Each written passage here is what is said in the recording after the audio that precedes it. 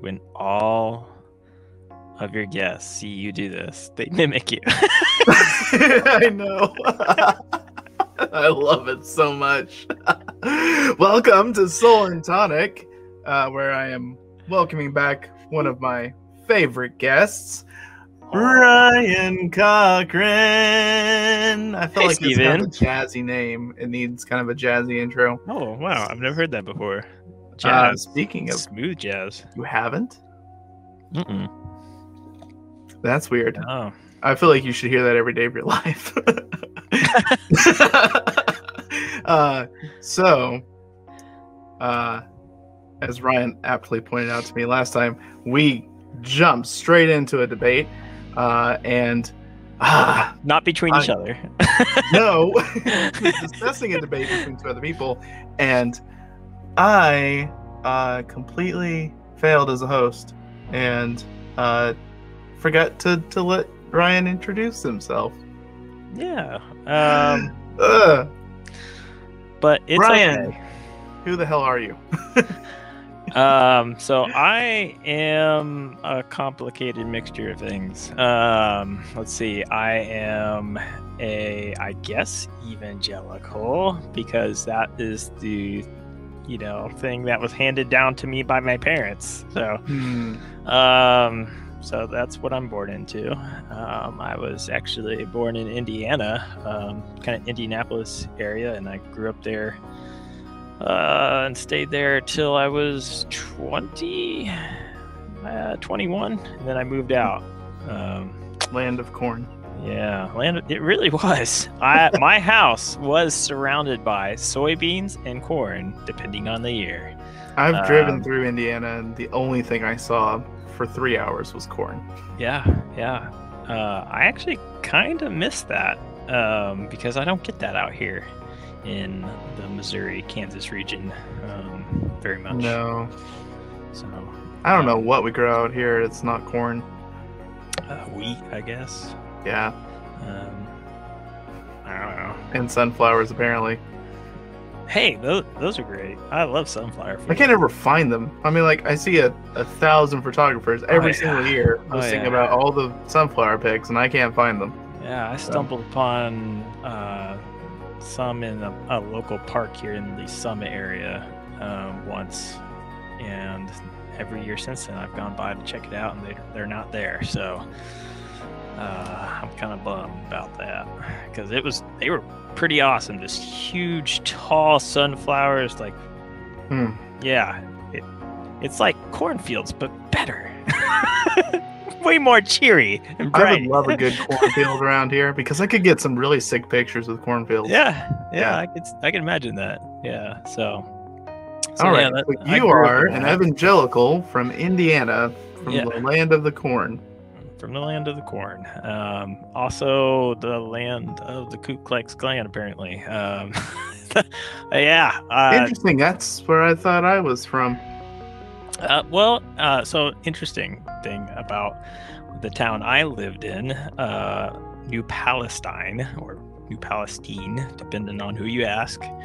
Um, it was basically Ku Klux Klan ran town. Um, one of the, I guess, the dragon lived there.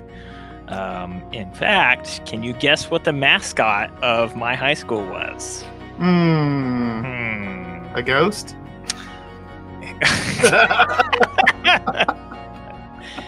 Ah, so close. it was a red dragon. Um, so, Uh, uh, yeah, I, I think on multiple occasions my father was asked to join the Ku Klux Klan. uh, they didn't call themselves that. Um, they Right. had modernized and changed their name. Um, we're but- rebranding. yeah, yeah, yeah. So, uh, yeah, he wasn't into that though, thankfully. So Oh, I. I didn't grow up in uh, a super racist house, just mildly. no, I'm just kidding, uh, but not really.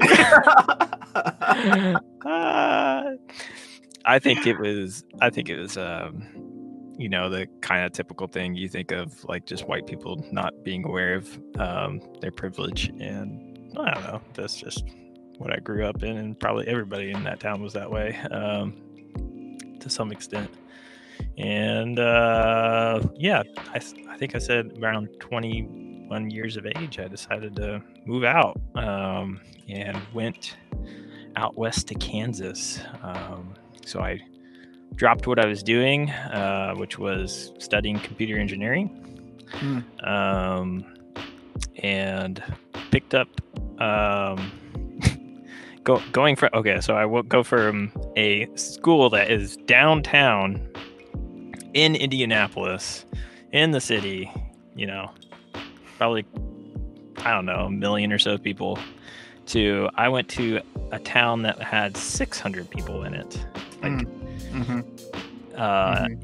and the school was 200 of those 600 so a third of the town during the summer left Yeah. um, on break so um, and that was a little tiny bible school called barclay college Hmm. um, and they uh, light here. yeah A little hot on my face. sure and they came good. they came out of the uh, friends tradition or the quakerism Oh, okay. Um, yeah. So, uh, of course, they labeled their school as non-denominational, though. So, um, they were, Starting to sound very similar to mine. Yeah. So it was a little bit of a mixed bag of faiths, but um, denominations. But um, for the most part, you know, it was like my parents were Quakers and went to a Quaker church or Friends church, and actually went to this school, and you know, probably half, Oh, okay. half the school or more was like that. Um, That's cool. yeah so uh kind of some generational stuff going on there and i don't know sometimes that was a good thing sometimes not so much. Um but i really liked it out there um just because it was like kind of a little bit of a desert experience you know? Um just being out in the middle of nowhere in these fields where again you don't know what they grow but they grow something. I guess just Hot, hay, hay no no. Um and uh yeah it was just a good place to just i don't know maybe make some mistakes and um and walking out what christianity is supposed to be like and um so was kind of a spa- safe space in that way and gave me a chance to explore um, what it means to be a Christian. Hmm. Um, and really, what that meant is I had to think critically, or had the freedom to think critically about my faith and re examine it. Um, so I kind of hit a, a rough patch by the end of just my first year there because it was like I was starting to go through de- deconstruction already. Um, but a lot of things didn't start really tumbling down inside the labyrinth of my mind of what it means to be a Christian until probably my third year, my last year there. Mhm. And that's when I think a lot of pieces, um, new pieces came along to say, hey, maybe this fits in the puzzle instead of this. And uh, I think that's kind of how deconstruction usually worked for me. Um, is I wasn't really too ready to let go of things unless I had something else to replace it with. Um, Oh, that's so, fair. um, so sometimes it, it was holding on to something, knowing this is broken, it doesn't work, and, but I don't know what to re- replace it with, and so just well, wait. And some, you know, it, sometimes it takes a few years of waiting to um, through study and research to find something that's Mm. fresh and new. Um, and sometimes that just means finding something that's really old and ancient. Um, so, yeah. Um, after that, I moved out uh, to Kansas City area where I met you Kansas um, City. and my wife, and uh, we settled down here. And um, yeah, it's been pretty good six years of my life now here in Kansas City area. So Good lord. yeah, Has it been that long? I know, right? Just fly by. no, stop. yeah. So. Oh, I don't like that. Six years. Yeah. Jeez. Yeah. So. But um, yeah, that that's a little bit of me. Um, there's probably a lot more to it than that. Uh, like I really love board games. I really love Star Wars. I really love, uh, well, obviously theology, kind of philosophy, spirituality. Uh, spiritual formation is kind of a, a big thing I'm really digging into and trying to figure out like uh, the puzzle pieces of that and what it looks like. And um, yeah, I, I don't know, like it's been an adventure. Just um, both in um, kind of reassembling my faith through after deconstruction and and then building a new life here in Kansas City area at the same time. So yeah. Hmm. So yeah. Oh, thank you for sharing. Yeah, no problem. Though I uh, must say I'm a little amiss by your not adding uh, old Tolkien era songs to that list Ah, of yeah. interests. Yeah. I mean, you got Star Wars. Good job. Uh, you didn't say Twilight Imperium. What the hell? I mean, w it's implied when I say board games. Let's Uh, let's be honest. that game transcends board game. it's not even a board game anymore. It is a space odyssey. It is Uh, glorious. Yeah, the the space operas of space opera of space operas. Yeah, it's it's good. Um, a good eleven hours. Yeah. oh, all right. So last time you were on the show, we had a discussion concerning a debate that we uh, came across on YouTube. Uh, so this time we're doing something a little different. Uh, we're going to be Oh, yeah. talking about um, just some different topic matters uh, concerning Christianity and spirituality. And uh, I think today's topic is uh, a humdinger, as they might say. Um, So let's get into it. Uh, so today we're talking a little bit about the uh, dichotomy between uh, faith and works. Uh, more specifically, we're going to be talking about the false dichotomy of between faith and works. Um, now, I, I I think we probably need to lay out a few um, foundational definitions of what we're talking about. So, Ryan, would you like to kind of define for us what we mean when we're saying faith and works? I would, but I'd actually like to hear from you. I'm gonna I'm gonna up your question with another question. Uh, Doggone so what great. what's the kind of typical thing you've heard from this kind of uh, debate of faith and works and how they define the two in your own faith tradition? oh shoot. Uh, my current faith tradition or the one I grew up in? Because Oh, both. very different right now. Okay, yeah, I'd like to hear both. Yeah. Uh, so if I if just off the bat, let's, uh, if we just uh, dive back a couple decades to small city in Tennessee, uh, the uh, the the real thing about faith and works, which ended up being a real topic in college later on, um, was the uh, it's kind of a mixed bag. it was Mm. really kind of a, an ongoing thing of uh, the salvation is by faith alone, faith in Christ alone, um, and not by works. So it's this whole uh, you couldn't earn your way into heaven. Uh, there wasn't enough things that you could do to get right. You uh, you had to accept Jesus into your heart. You needed to to pray the prayer uh, and repent of your sins, and uh, and that was the way into heaven. You couldn't do enough good to outweigh the evil that you were doing. Okay. Um, and then to some degree, uh, there was a, an element of you. It's not possible to do anything good because if you're not in Christ, everything you're doing is most likely in some way, shape, or form selfish or malicious. uh, which is a perspective, and uh, and so that was it was kind of that setup where it was like okay it's it's you know that. Um which is which is a lot of what my professors taught as well uh kind of an emphasis on faith alone you gotta Mm.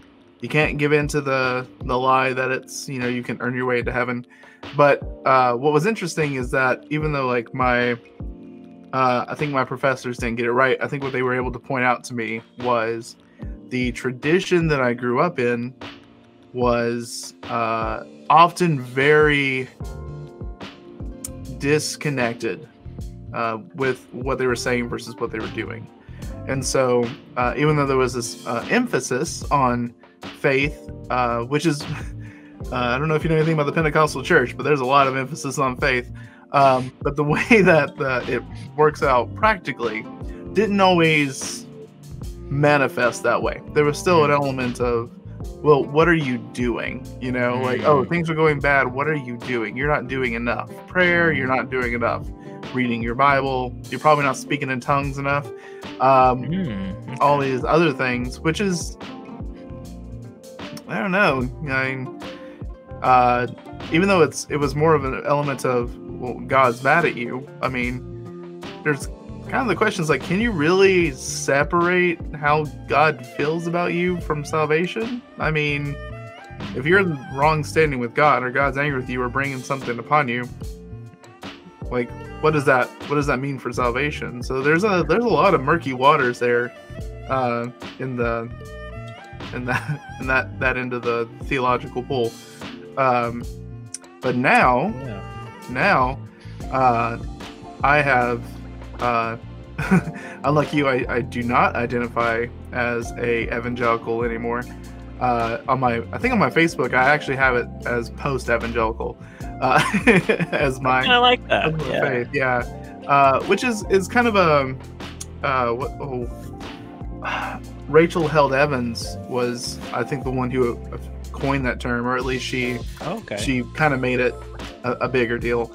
Uh, fun fact: her father was a professor at my school. Um, oh. at a uh, in little town of Dayton, Tennessee. Um, but uh, which caused a lot of stir, but we're not getting into that. uh, and, and so since then, uh, you know, I've done a bit of exploring, and in my own experience with deconstruction, I I have a tendency to to let go of things very slowly.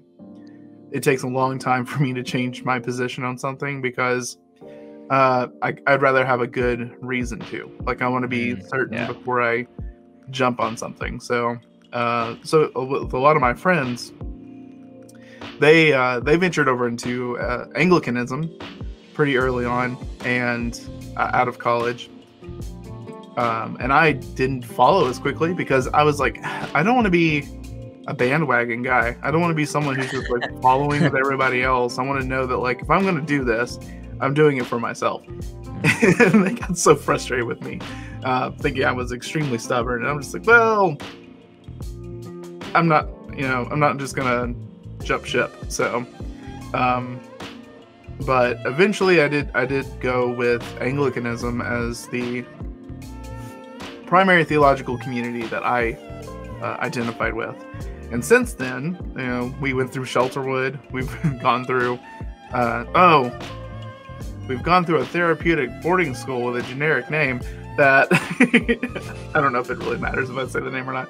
Uh, but the the that whole experience of working in a, a therapeutic environment that just changed the way that I viewed things because I was in a place where uh, I thought I was doing what I was called to do, and Mm. and then I had to leave it for my own health and and from that feeling like a failure and thus feeling like I had completely let down God and so that that actually stirred um the whole topic of faith and works for me again Okay. where I was beginning to wonder like maybe I was finding my fulfillment in God and feeling and fulfillment in um in play like you know uh by by finding it in this calling that I've objectified that I have a purpose and a thing I need to be doing for God to be happy with me, and thus everything else is kind of tied with that, you know. So, uh, by extension, but since then I've I've ventured into Eastern Orthodoxy, a lot of Antiochian Orthodox, and uh, done a lot of deconstruction, a lot of questioning of my faith, and so there's this whole shift in not only how I view faith and works, but also how I view the gospel. Because for the most part, what I what I learned from an um, upbringing that I had was that you needed to do a prayer, you need to accept Christ, you need to repent, and that was the gospel. You're a dirty sinner. Christ came to die for you so that you could say a prayer, repent of your sins, and thus be saved. Mm. And since then, having taken on a more orthodox view of the, the gospel being a healing of the cosmos, a ongoing healing process, a mm-hmm. uh, regenerative process uh, in, a, in a different way than what I grew up in, makes a huge difference. And for me, I believe that a part of that is works and faith being combined together. Uh, I've heard of uh, some people, even in some of the traditions, this concept of growing your soul, uh, which is a, is a term that uh, re- resonates with me, but I don't think is exactly what is going on with me. It's, it's a process of the the whole working out your own salvation uh, with mm. fear and trembling is more than just being afraid and shaking, but also you are doing stuff to mature yourself. You're disciplining yourself. You're growing internally through your external actions. And that mm. and the way that you are acting is out of faith. And and that kind of uh, is how I could best describe what is my current perspective on it as I seek to become a spiritually mature person a spiritually healthy person, which is not just my craving and desire for heaven, which I have also done a lot of theological work in what heaven is, but in terms of my my here and my now, the two are together because through what I do, I can build myself up or tear myself down, and that impacts me spiritually. And so my faith practice the practice of doing liturgy, doing prayers, uh, uh, these ritualistic things out of symbolism and belief and intentionality are growing me. And I, I, believe it was C.S. Lewis that said, "He's like, I don't pray because it changes God. I pray because it changes me." Yeah. And that is my perspective of like me working out my salvation, me doing liturgy, literally translates to work, the work of the people. Me liturgizing my life to be intentional has a huge impact on my soul, mm-hmm. which I believe is a part of this whole process of salvation. So, yeah. Oh, does that, that make sense? Yeah, yeah. I really especially like the part that you said, like, what I do like changes me on the inside. Like, yeah. I'm actually gonna take that, fold it up, save that for later, and we're gonna re- we're gonna see that little. We're gonna come back to that. Okay. Save that for later. but yeah, and and you know what you kind of described with um, kind of the old way of seeing things in your old tradition, um, how you were taught. Uh, that sounds very similar to all the things I was taught, um, and certainly by some professors as well.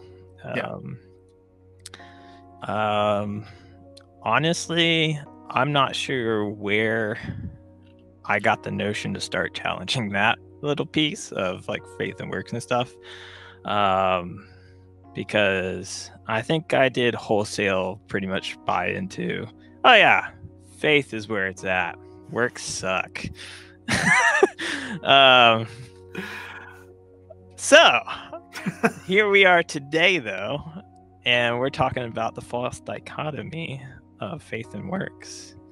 Um, so I I want to get into that, but I think there's one more thing we have to unpack. And thank you oh. for unpacking all of that, by the way. um, but also, let's unpack what's the difference between belief and faith, because I think mm. that may be important to the conversation. Is there a difference? Is it the same thing? That's a good question. Uh, well, we what we know about faith is like the evidence of things hoped for, mm-hmm. uh, or the evidence, you know, the manif- like the evidence of things unseen. Yeah, kind of a overall still a very vague definition. Um, yeah, though I recently heard this argument about the difference between faith and belief as uh, the faith kind of a, a letting go, like you kind of accept things as they are, and believe is more of a oh I really want it to be this, or kind of a I don't know what how do you they, they sound very similar, but I think there's some really subtle differences between the two. Yeah. So, um, but I think um, maybe in the old kind of way of looking things for me, um, the tradition would just say they're the same, right? Um, yeah. And now I'm like, yeah, I'm not, I'm not sure if they're the same, um, especially when they're used very differently within Scripture. Um, so that's where I want to get into this. All right, let's start there. Um, so, belief and faith. Um, hmm. Well, they don't seem to be the same because uh, they're never used in the same way. Uh, mm-hmm. Uh, faith is generally used when talking about something that people are doing. They're mm-hmm. doing something. Abraham, you know, he was he was saved by faith, right? Um, it was his faith that saved him, but he didn't know where he was going, and yet he did it anyways. Um, hmm. And then there's a lot of accounts like that. In fact, I think most of um, the stories of the Old Testament are, are just that um, stories of people doing things despite really knowing what's going to happen or or having um, really an idea of where they're going or something like that. Yeah.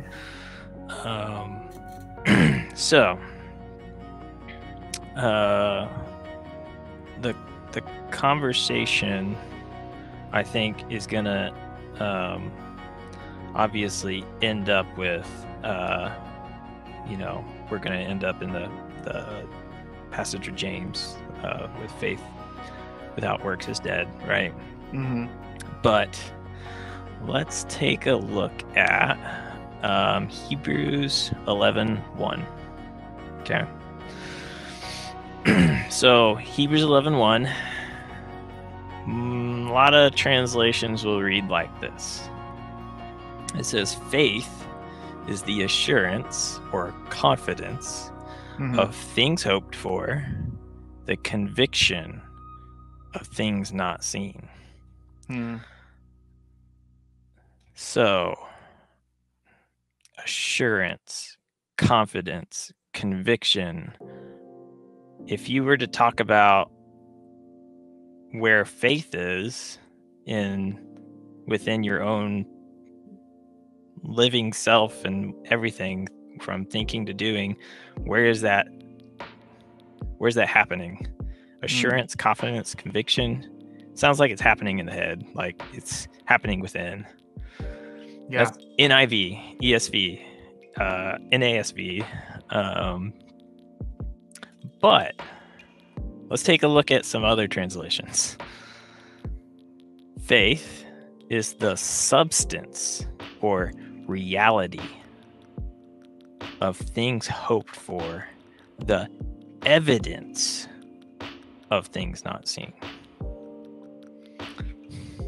That I think has a little bit of a different connotation. It sounds Yeah. actually more external. yeah, Um, much more physical, much more tangible. reality, Uh, evidence. I mean, yeah. Yeah.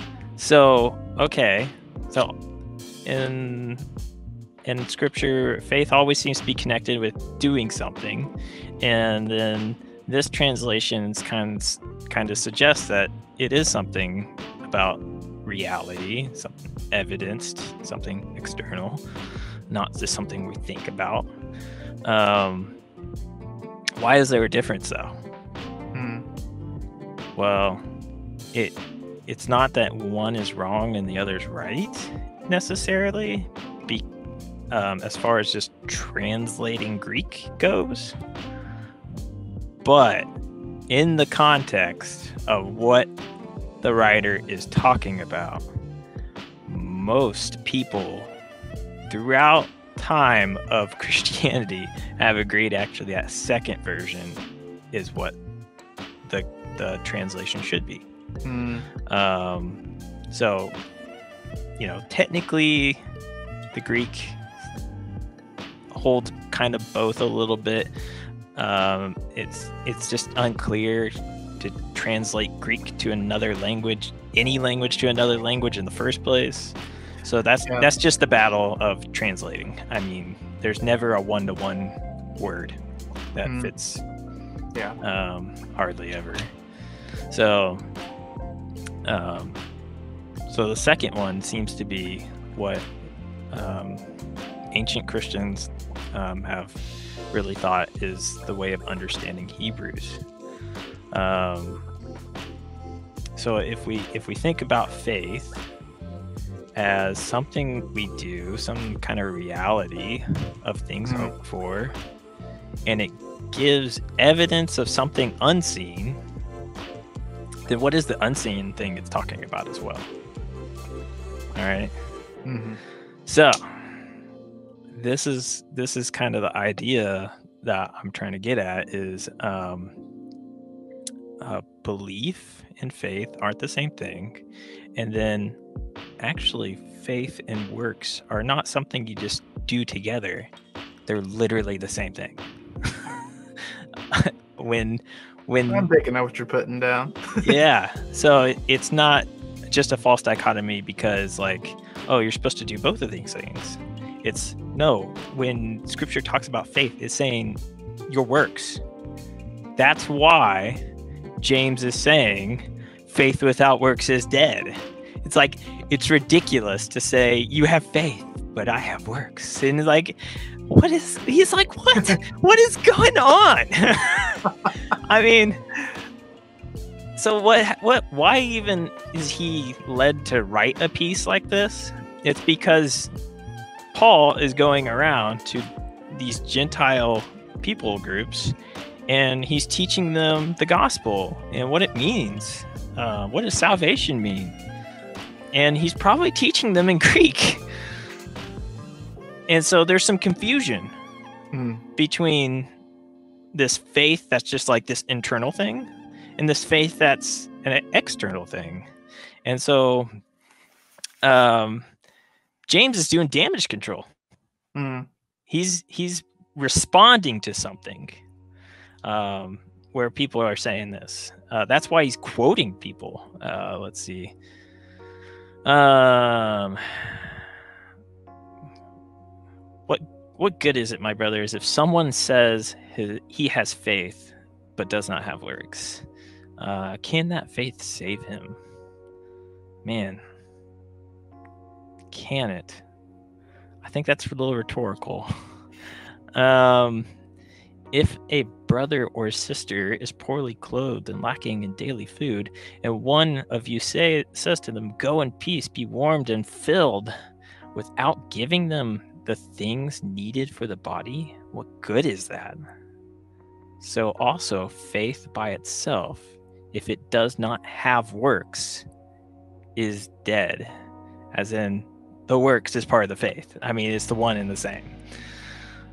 So, where does that leave us when we've been taught, like, our whole life in our evangelical faith that you need to think about Jesus and accept him, and boom, presto, you're in. Yeah, baby. But, uh, But oh, but you brought up something about your faith tradition yeah, that was saying the opposite almost while saying you know faith is the only way as in this internal thing that you accept Christ. yeah, So even there there was some cognitive dissonance, right? Yeah. We keep throwing this word around or phrase around, I should say. Cognitive dissonance. it's so sexy. it's really one of my favorite phrases now. yeah. I've nearly put it into three emails just today. oh my gosh. Um, so uh, there there's some realization even within these traditions uh, that we're talking about um, that we kind of grew up in that you you need works. Um, you still need the change, and so um, what what what drives that in the first place that they would say it's just an internal thing? Should we just throw all that out? Should we say oh um, the kind of internal battle of accepting christ and all that doesn't really matter it's just about works which is it really faith is that what i'm trying to say just just do good and I'll save you no that's that's not what i'm trying to say yeah. and that's where I pull this little guy out. and like I think the point is it transforms you. Yeah. Yeah. I think spiritual formation is done through doing something. Um but that is not to dis- discount you know intellectual pursuit. It's not to Mhm. say uh, theology doesn't matter.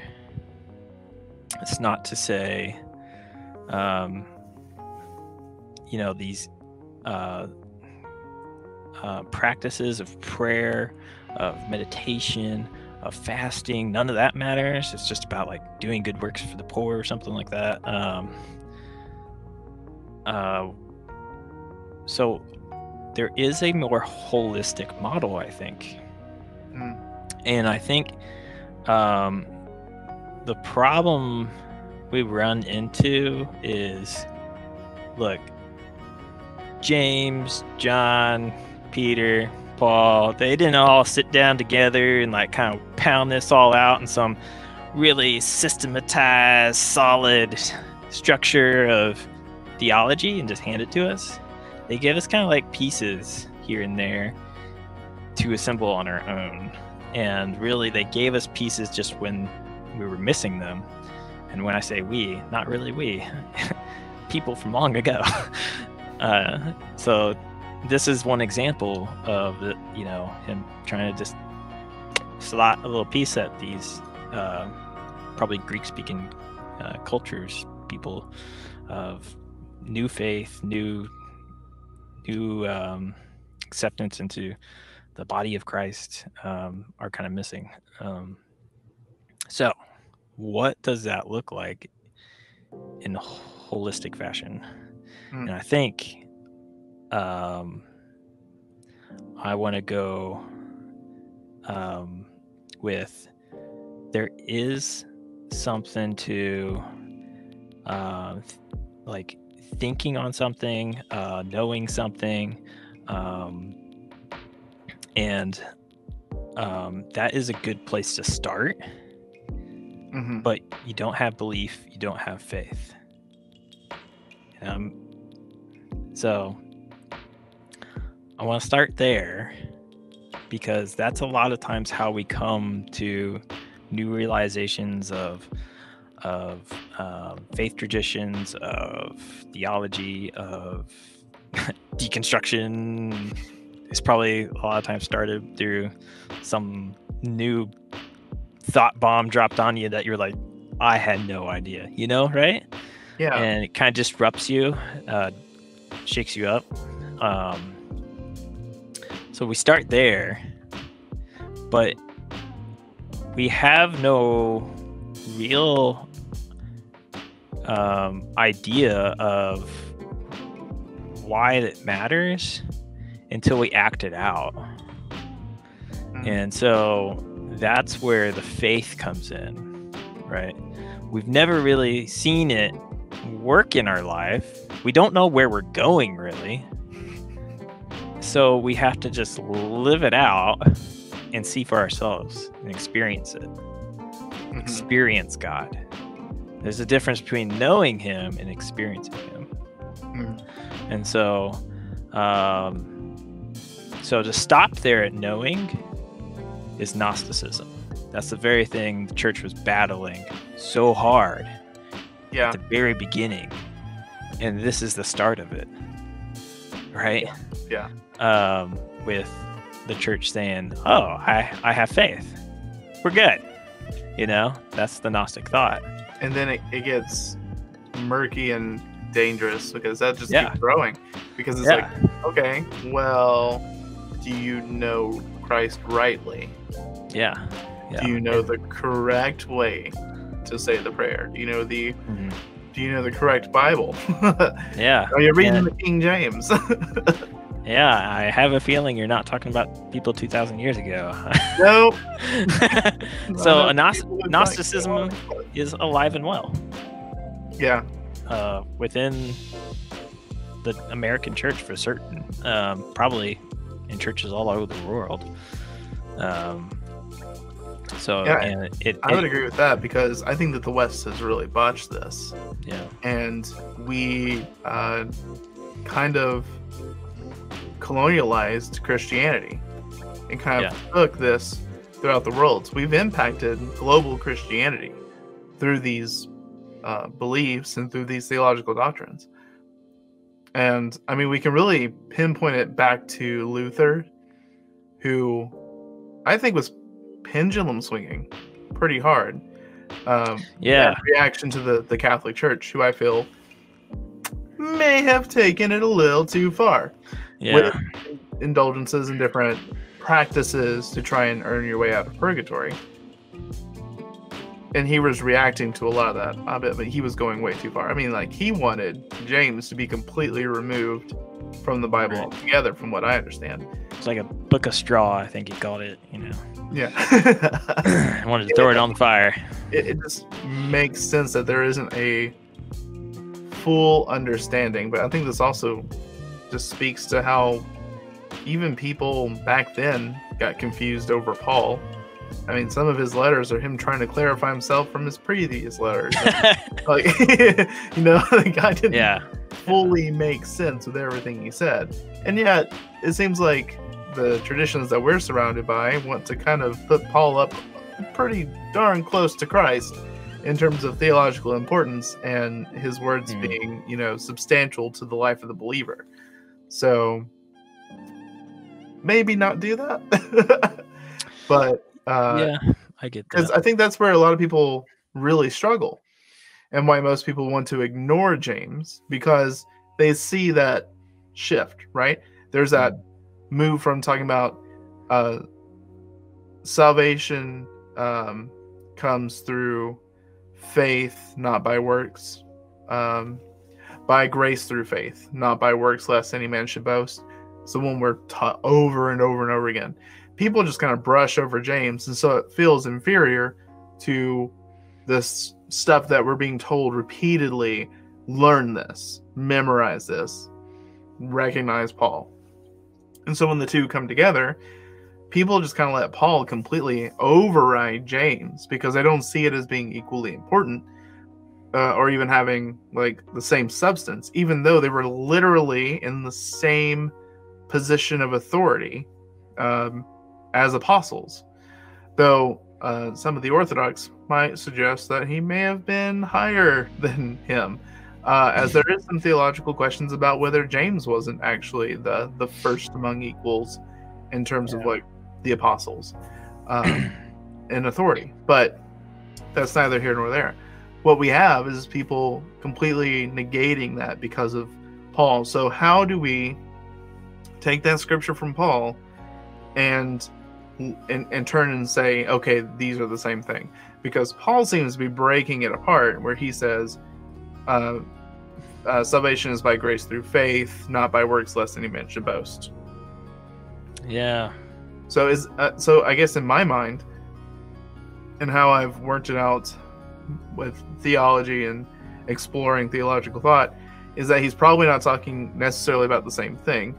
Uh, our translation says works, lest anyone man should boast, but really, uh, if we are to understand faith, which I do believe Paul would even attest to, what faith is, and uh, would affirm that faith is, you know, true religion, true faith, helping the widow and the orphan, doing these things. Faith is action out of a confidence of belief, of an internal thing. While works in this instance isn't referring to, like, it's not negating action.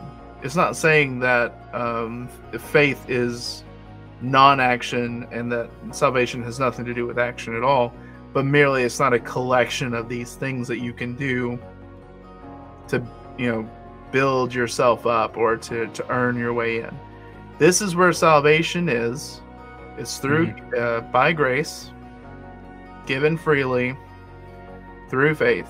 The grace comes through faith but even that's just our constant living out what we believe not by works that we can just go and do whatever we want, call it good, or like you know hope that it's good enough. There's there's something there, I think, but I think it's kind of confusing language, as is a lot of the Bible. Yeah. I think that that's where we start to to break it down as a, a culture and separating the two.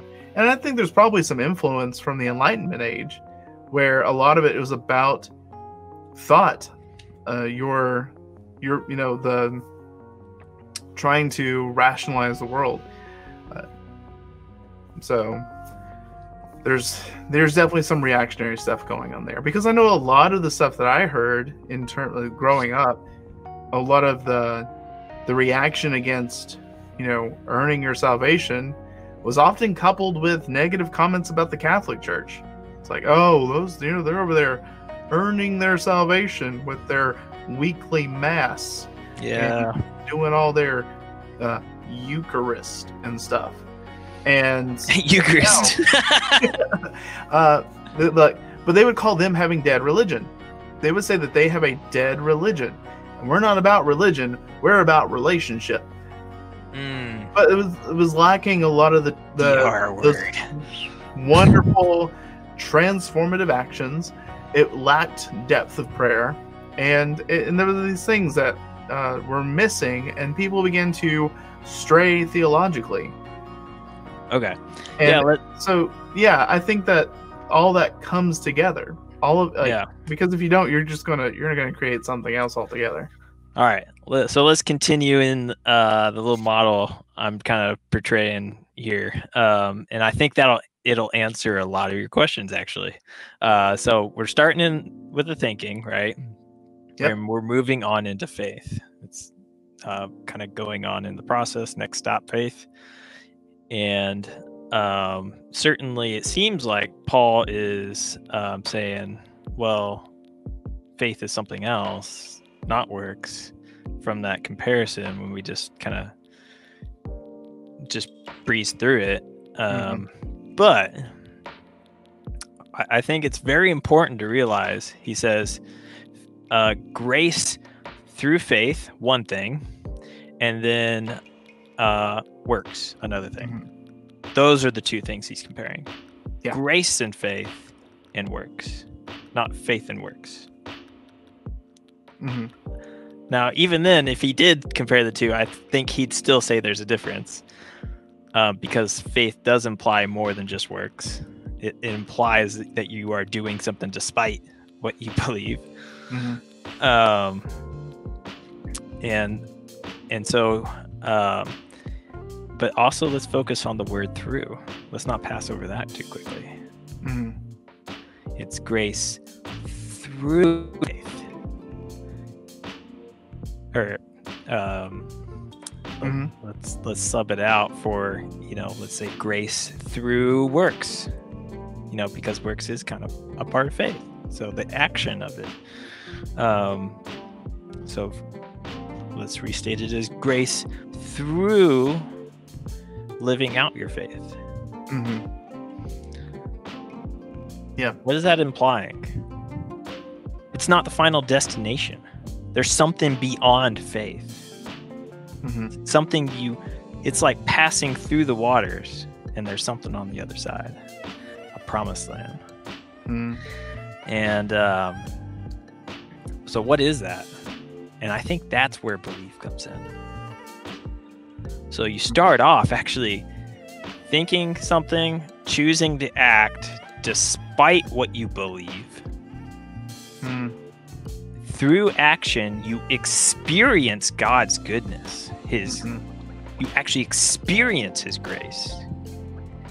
And then you change your belief.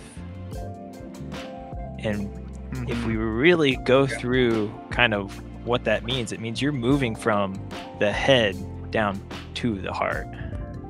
You're moving from the head of just kind of actively knowing things to now it's like a subconscious thing. It's it's a deep part of you. Mhm. and that that's where spiritual transformation is really happening it's And not I- I about just doing things I think another way that I would look at it, another way that I might define it, just listening to that, is that uh, it's more through the the active life, the the active pursuit, and not through one's own successes. So, like the like actively pursuing to live out my faith and to to engage in the world and, and, and to grow with Christ and grow my understanding of truth and knowledge and, and my uh, spirituality and my spiritual life versus a collection of things that I've completed, a collection Yeah. of checklists. Because one is much more, you know, active in a way, and the other one is more like a list of completion. Because when you're thinking about by your works, like, oh, I've done this, this, this, this, and this, you know? While my faith is like a constant living, breathing thing that is passively a part of my life. It's the way that I'm living, the way I'm treating people. It's uh, me making hard decisions, me engaging with the world, and, and not just making a, a checklist of everything I've done or collecting up everything I've done. So I think that's where I, I think that I, I see a, a, a difference between the two. That the active pursuit of being creative versus I have completed this many pictures, you know, things Yeah. like that. If I were to make an active comparison. Yeah, So- yeah. Uh, So what you said about uh, faith is something that's just is happening continuously Mhm. throughout your life, right? Um, every day, continuously. Well, that's also true of thinking and belief. Mhm. And so, um, I want to complete the loop because I think it is a loop. Your your belief does come back and inform your thinking, and in fact, that that's actually the problem we find ourselves is we are in this spiral, this perpetual motion machine of mm-hmm. of really self-oriented thinking, behavior, and belief. And we're just stuck in it.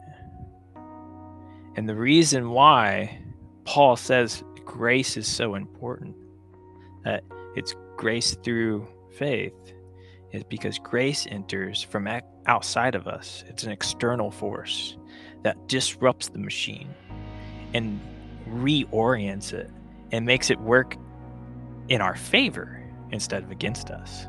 Mhm.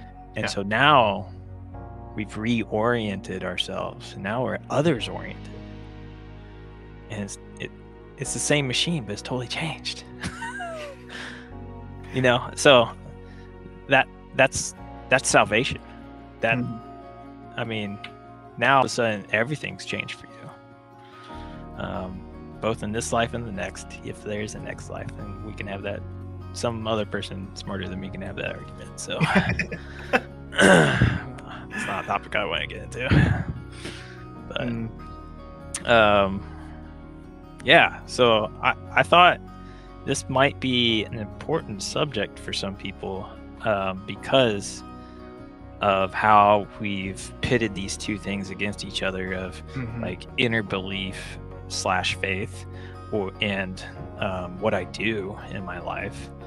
Um, and it's just a false dichotomy and um, and and it totally leaves out like a third wheel, you know, uh, third piece of the puzzle, and so uh, you can never assemble it if you don't understand all the pieces, and so you got to really redefine. And when I say redefine, go back to the original definitions of these words, Yeah. and really, really see the pattern that we're describing. And if if you want examples of how thinking matters and um, and why it's part of the system that I'm drawing out. That's Mhm. part of the loop and where this it's the starting point. I mean, just look at Jesus. What? Okay, let me ask you this: What is the gospel? You're probably gonna give me a long answer. I'm gonna try and keep it as concise as possible. uh, uh, Christ has died. Christ has risen. Christ will come again. Yeah. The Apostles' Creed is the the, the quintessential of the gospel, um, in my opinion. Okay. And sitting through a communion service is probably the most concise gospel presentation one can Mm. get.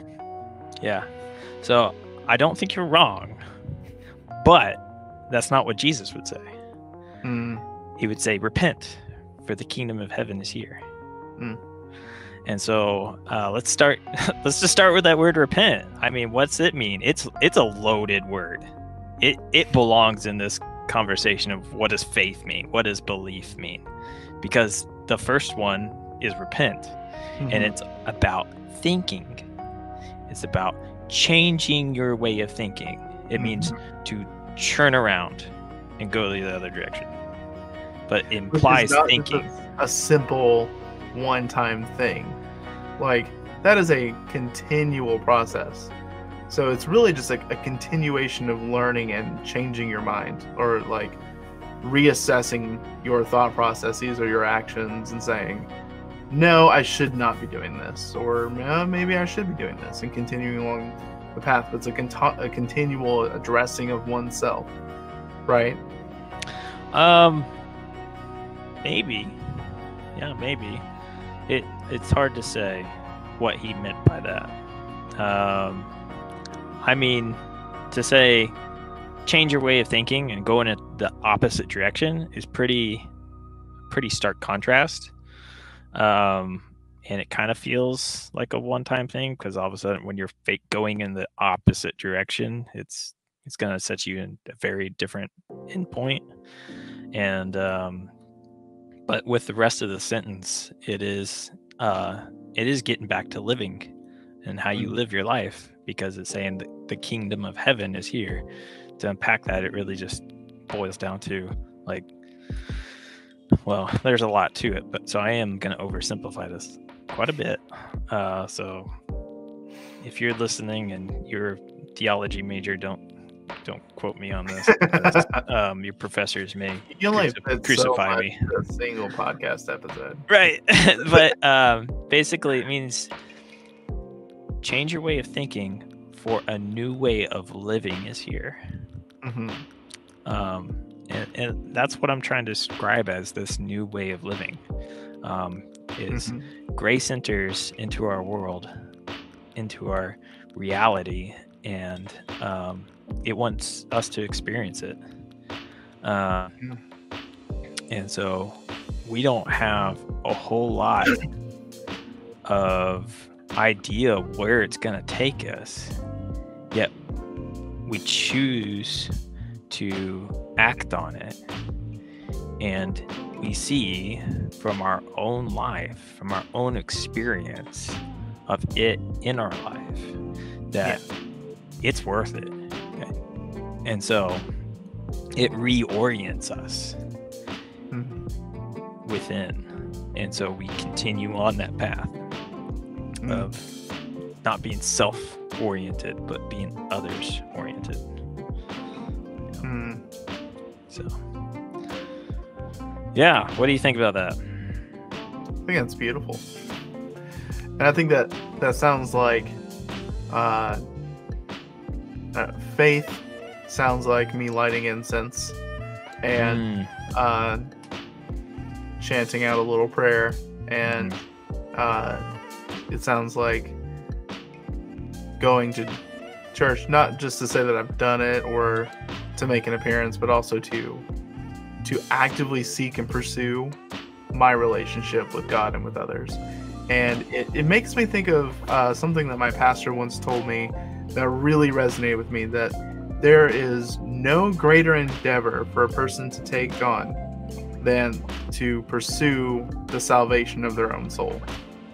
And the the activeness of what he was saying, um, the the the chasing after and the intentionality and pursuit and uh, living out faith really stuck with me and, and that is part of the reason why i found myself in this place of the two are not separated that they go hand in hand. And yeah. now, uh, uh, thanks to some of this dialogue, more of seeing it as being the same thing, as being the way that we live out our lives, and not just being a matter of thought, not just a gnostic thing, but a a continual daily living thing. And yeah, yeah, yeah.